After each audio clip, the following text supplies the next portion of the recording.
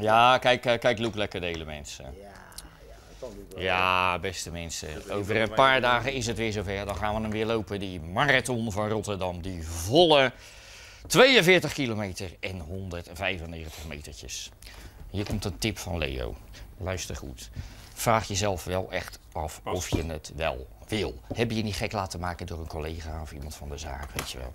Als je er nog onderuit kan en je hebt geen weddenschapje staan wat om al te veel centjes gaat, zeg het dan af. Jij je moet Eh zeggen. pas. Pas, begrijp je? Wie speelt Kom maar. Oké. Nou, dan ga ik